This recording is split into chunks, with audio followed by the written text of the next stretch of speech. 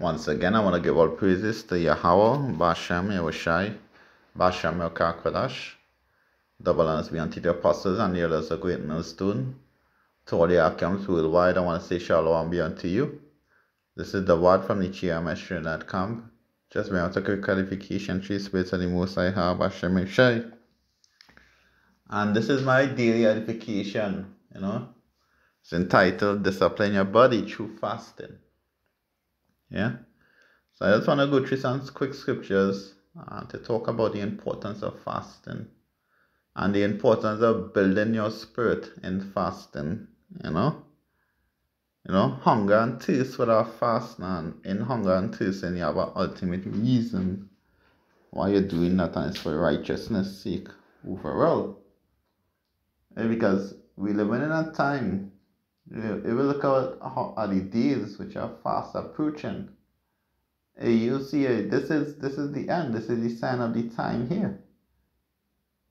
Hey, hey, the doors are ready to crack. Them skies ready to burst open, and Yahushai coming to deliver his people. Who are his people? The Negroes, Latinos, and Native. You know, we in bondage here in slavery, still under the hands of Esau, the so-called white man who is oppressing us daily. Hey, look at the whole world, the whole world in lockdown. Just now, hey, just a couple of days, just yesterday, a brother posted up in our local community Trinidad. It had locusts by the thousands in South. Post up that video. Yeah, and that was plagues that Egypt as pest. And these locusts and them they're gonna eat our crops and for 2021, if this continue, hey, it's gonna be a famine and hey, famine of food. Because right now we are famine and the world going on as well because we can't go out. Right now, yeah, we out there on the highways and byways, but just now we won't be out there again. Have a famine as well of the world. So you have to bring yourself to a point of discipline. And starting that discipline process is by fasting and praying you know. So I want to start out with First Corinthians chapter 9 and verse 27.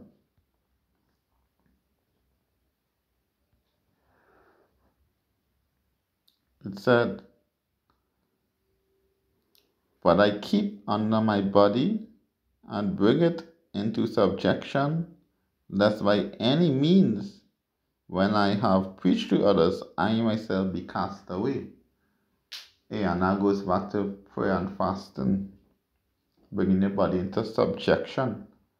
You know, some some men might prefer to fast off of meat.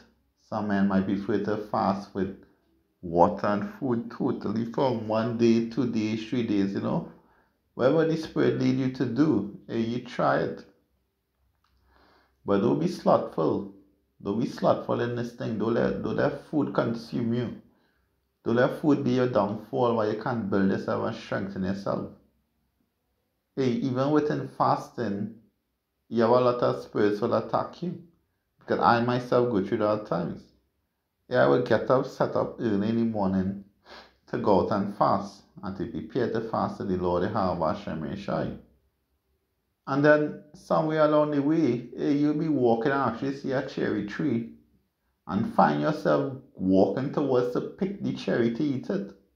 Not because it's not because you wanted to, you know, but subconsciously, you know, you just literally was going to pick the cherry to eat it.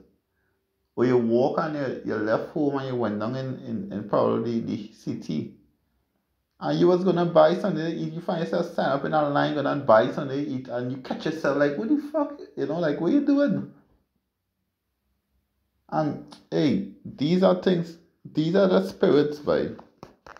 These are reasons why you have to acknowledge this fast and understand it, by. And this is a spiritual battle that we're going through. So, within fasting is a way strengthen your, your, your body, you know, do that discipline overall. And that goes a long way in the truth. Goes a long way for the most I have Hashem Shai. You know? So go to Daniel chapter 10, start at verse 2. Daniel chapter 10, verse 2. said, In those days, I, Daniel, was mourning three full weeks. I ate no pleasant bread, neither came flesh nor wine in my mouth, neither did I anoint myself at all, till three whole weeks were fulfilled. Hey, and to, fast for three weeks. Hmm. You know, that's a, that's that is discipline. Just to, let's all these men were disciplining their body and disciplining their mind and discipline spiritually. Because these three things are achieved when you fast. You know? You discipline your body because you, you, you hold back food from your body so your body will get accustomed to hardship. So in times of, of trouble, you already was fasting, you already got yourself aligned and in tune to not eating. Whereas, hey, all hell break loose. Two days without food and these Negroes and them they going through, you know? They're gonna start a riot. So that disciplining your, your body, disciplining your mind. Again, your mind is tuned to that hardship. You know, you you might see a, a, a pork. Was a brother say a shrimp or a squid. And you you shouldn't be compelled to eat that because you, you don't discipline your mind about the situations to come. And then discipline your spirit because with those two add up there, your spirit will be built. Your spirit will be built. So fasting goes a long way. It goes a long way by Akim. Joel chapter 2 and verse 12. Therefore also know, said the Lord Yahweh Shemeshai, turn ye even to me with all your heart, and with fasting, and with weeping, and with mourning. Hey, you cry out to the Most High Yahweh Shemeshai. Hey, you mourn because of all the wickedness being done in this land. And you fast. And you cry out to the Most High Yahweh Shemeshai. That's a good way. He will hear you. Hopefully. Hey, but what is a man of the Lord Yahweh Shemeshai? And you call out to the name of the Most High Yahweh Shemeshai in spirit and in truth, he will hear you. You just have faith. The reason why I use that term, hopefully, because I don't know your situation with the Most High Yahweh Shemeshai. No man knows, just them and themselves.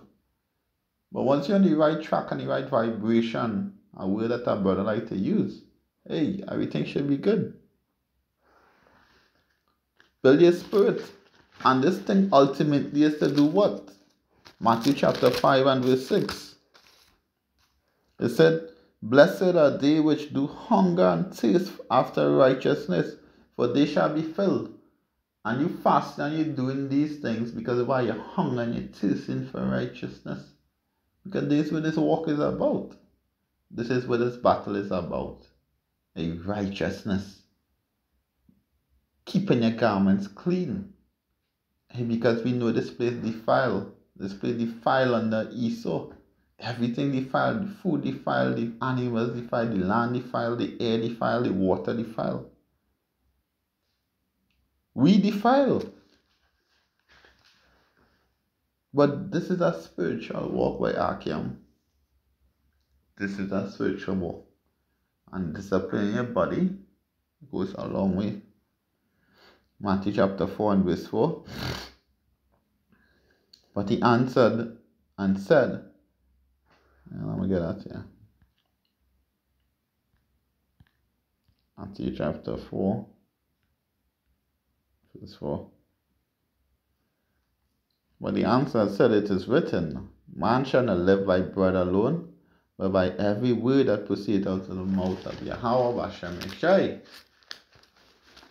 And we, we had to, we had out of that mindset of having to constantly be eating. Fasting, discipline your body. Don't let your breakfast be a, that day, that daily bread you're looking for. But worshiping the Most High Hashem in spirit and truth. Let that be your daily bread. Let that be your meat. Let that be your satisfaction. Let that be your edification. You know? The apostles of Great Millstone, hey, Yahweh Hashem bless him and his family and all the apostles and the archims and the elders worldwide. Apostle Taha. You just said, hey, do a daily edification. At first, he might have pulled back and said, what? That's gonna be hard. But then you, you get you get happy in your soul. Because why? You have an opportunity now to push harder for the most I have Hashem And that should be a joy right there. So you could fight harder, push forward. It's a tawada. Ya Hashem Yeshai tawada pasataha. So hey, this was my daily edification. Discipline the body through fasting. You know, with that I want to give all praise this to Yahweh Hashem Yeshai, Hashem Kodash. That one be unto the apostles and the others of great millstone, to all the archangels worldwide. Hey, shalom be unto you. Stay strong. Shalom.